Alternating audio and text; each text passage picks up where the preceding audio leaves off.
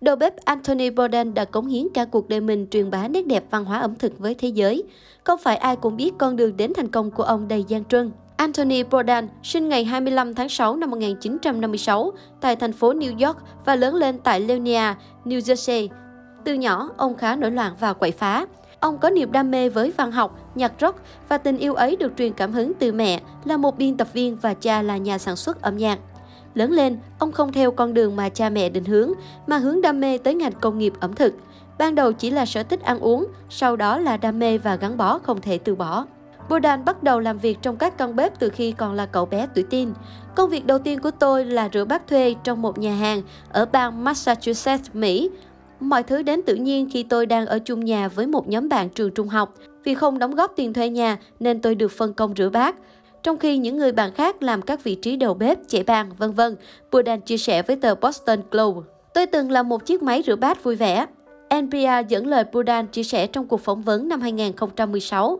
Tôi hay nói vui rằng mình học được các bài học quan trọng và tất cả bài học quan trọng nhất của cuộc đời khi là một chiếc máy rửa bát. Đó không phải là công việc cho tất cả mọi người, nhưng Budan đã tìm ra một ý nghĩa thực sự trong đó. Vào thời điểm đó, Budan là một thiếu niên nhút nhát, gốc nghếch và đó là lần đầu tiên mà ông được trao cho một công việc có ý nghĩa.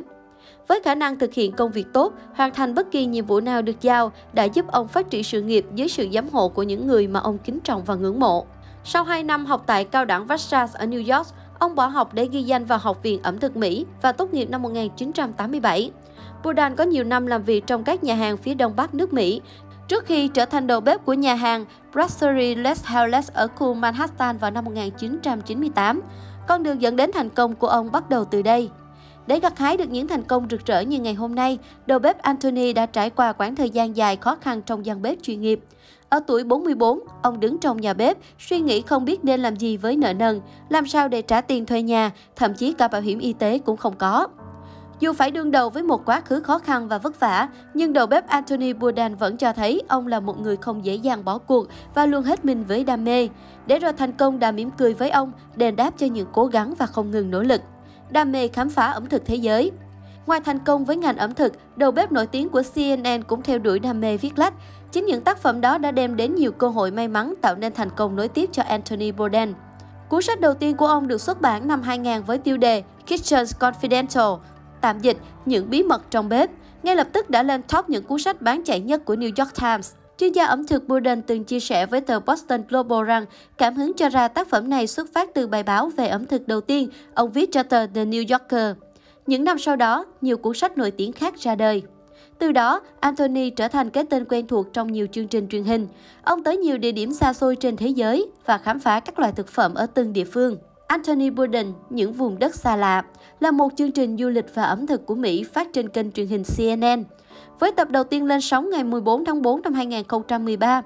Trong chương trình, đầu bếp Anthony Bourdain đi khắp thế giới, khám phá những vùng đất ít được biết tới, trải nghiệm văn hóa và ẩm thực. Chương trình này đã đoạt 3 giải Emmy và nhận được 11 đề cử cho kịch bản, âm thanh, biên kịch và quay phim.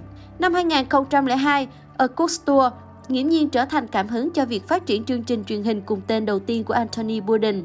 Dấu mốc này đánh dấu chặng đường khám phá nền ẩm thực khắp thế giới của đầu bếp Bourdain khi ông chia sẻ, truyền cảm hứng cho người yêu ẩm thực khắp thế giới. Cũng trong chương trình này, Bourdain từng đến chợ nội Cái Răng, Cần Thơ để khám phá cảnh sinh hoạt ăn uống trên sông nước Việt Nam năm 2014. Sau đó, chuyên gia ẩm thực giới thiệu món bún chả nổi tiếng của Việt Nam cho cựu Tổng thống Mỹ Barack Obama năm 2016. Trong một chương trình tham dự, Anthony từng chia sẻ tình yêu ẩm thực đặc biệt dành cho Việt Nam. Tôi yêu ẩm thực Việt Nam, Malaysia và Indonesia. Mỗi đất nước đều để lại trong tôi những phong vị riêng. Lần đầu tiên tới Việt Nam thực sự là chuyến đi làm thay đổi cuộc đời tôi bởi đất nước này quá mới lạ và khác biệt với nơi mà tôi đã sinh ra và lớn lên. Anthony Bourdain từng nói. Vị đầu bếp 61 tuổi cũng từng khẳng định Việt Nam, nơi đây đến bắt lấy bạn và khiến bạn không thể rời đi. Chỉ cần một lần đến, bạn sẽ yêu nơi đây mãi mãi. Năm 2005, Bourdain làm việc cho kênh Travel Channel với chương trình Anthony Bourdain's No Reservation, tạm dịch Anthony Bourdain không đặt chỗ trước. Chương trình này đã đoạt hai giải thưởng Emmy, chương trình giải thưởng cao quý nhất của ngành công nghiệp truyền hình Mỹ. Năm 2013, Bourdain chuyển sang chương trình Pass Now, những miền chưa biết tới với CNN. Mùa thứ 11 vừa được công chiếu đầu năm 2018. Quá trình tham gia những chương trình truyền hình về ẩm thực đem đến cơ hội trải nghiệm nhiều nền văn hóa, món ăn ngon của các quốc gia khắp thế giới cho Anthony Bourdain. Nếu bạn đã xem Anthony Bourdain uống rượu thoải mái trên Bus Now, bạn có thể cho rằng ông uống một cách thường xuyên. Nhưng đáng ngạc nhiên, ông không hề hứng thú với các loại bia rượu, không uống rượu trong bữa tối. Ông nói với tờ Men's Journal, bạn thấy tôi uống rượu một cách ngu ngốc trong chương trình của tôi, và tôi có rất nhiều điều thú vị khi làm việc đó. Nhưng tôi không ngồi ở nhà với một ly cocktail, không bao giờ. Thay vào đó, ông muốn giữ cuộc sống cá nhân tách biệt với sự nghiệp nấu ăn chuyên nghiệp. Hai cuộc hôn nhân và một cuộc tình gian dở. Thành công trong sự nghiệp và nổi tiếng ở nhiều lĩnh vực nhưng đời tư của budden lại gặp trắc trở. budden từng kết hôn với mối tình thời trung học Nasi Bukosi và ly hôn năm 2005 sau hai thập kỷ bên nhau. Hai năm sau, ông tái hôn với Octavia Buccia, một võ sư người Italy. Astavia Buccia sinh ra tại một thị trấn nhỏ Lombardy, Italy. Cô tới Mỹ năm 2002 và bắt đầu làm việc trong ngành công nghiệp nhà hàng. Sau đó, Buccia gặp Ribert, người được cho là mai mối cô với Buden. Bushia và Buden có cuộc hẹn hò đầu tiên tại một quán bar năm 2007. Buden nhanh chóng say mê Bushia và trong vòng vài tuần, hai người làm đám cưới. Cuối năm nay, con gái đầu lòng họ, Ariane, ra đời. Cuộc hôn nhân của Bushia và Buden kéo dài 9 năm rồi kết thúc. Công việc khiến biden phải xa vợ con hầu như cả năm trời. Sự xa cách đó là mối quan hệ vợ chồng trở nên có khoảng cách.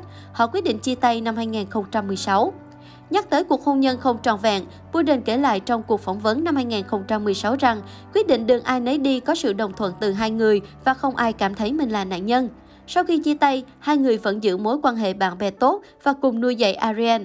Ariane Buden là người con đầu tiên và duy nhất của đầu bếp danh tiếng. Lúc Ariane có mặt trên đời, Buden đã ngoài 50 tuổi. Buden được xem là người bố yêu con và gần gũi với con gái. Ariane hiện 11 tuổi và sống cùng mẹ tại thành phố New York. Biden và vợ cũ Bushia luôn cố gắng bảo vệ con khỏi sự nổi tiếng và sự quan tâm quá mức của truyền thông. Tuy nhiên, sau khi cô bé được sinh ra, Biden lại trả lời nhiều cuộc phỏng vấn có nhắc tới con gái. Ông cũng viết cuốn sách dạy nấu ăn có tên Apprentice dành cho con. Trong mắt Biden, con gái thích chê món ăn của bố. Con bé là một nhà phê bình rất khắc khe. Bạn biết không, Tôi cho một xíu, một lượng rất nhỏ hạt nhục đậu khấu vào món mì ống với phô mai và Ariel đã không thưởng thức món ăn ấy. Biden nhớ lại. Cái chết bất ngờ ở tuổi 61. Ngày 8 tháng 6 năm 2018, Anthony Bourdain đã tự sát tại phòng khách sạn ở xã Caserbers, Pháp khi đang lưu lại tại đây ghi hình cho chương trình truyền hình về ẩm thực du lịch Bass Now phát trên truyền hình Mỹ. Người bạn thân của ông tại Pháp, đầu bếp Eric Ribert, là người đầu tiên phát hiện ra tình trạng bi kịch của Biden. Anthony là bạn thân, anh ấy là con người ngoại hạng, rất truyền cảm hứng và rất hào phóng, rộng lượng một trong những người kể chuyện tài ba nhất trong thời đại của chúng ta, đã kết nối với tâm hồn của biết bao nhiêu con người. Tôi cầu mong cho anh ấy sự bình yên. Theo quy trình pháp lý tại địa phương, những hoạt động điều tra đã được tiến hành tại nơi Biden qua đời. Dù vậy, nhà chức trách cũng khẳng định không có dấu hiệu bất thường trong vụ tự sát này. Năm ngoái, Biden chia sẻ trong cuộc phỏng vấn với tờ New Yorker Mỹ rằng ông đã bị ngất khi ghi hình ở Pháp. Ông sẵn sàng làm điều dại dột nếu phát hiện có điều gì không hay xảy ra với sức khỏe của mình. Nhà chức trách tại Pháp cho hay đây sẽ là một trong những chi tiết được họ đưa vào xem xét khi điều tra vụ việc. Viện Smithsonian, hệ thống bảo tàng và viện nghiên cứu lớn nhất thế giới, từng ca ngợi ông là ngôi sao nhạc rock nguyên bản của thế giới ẩm thực, là Elvis của các đầu bếp trai hư. Tại thời điểm Buden qua đời, ông đang hẹn hò nữ diễn viên kim nhà hoạt động người Italy, Asia Arento. Ông gặp bạn gái trong chương trình Bath on Now và bắt đầu qua lại năm 2016. Sau sự ra đi của bạn trai, Argento đã lên mạng xã hội đưa ra chia sẻ đầu tiên ngay trong ngày thứ Sáu rằng cô đang suy sụp bởi mất đi người che chở bảo vệ. Ngay trước khi qua đời, Biden mua về một bức tranh có cái tên buồn bã, u ám, báo điểm gỡ. Bầu trời sụp đổ, tôi đang học cách sống với nó.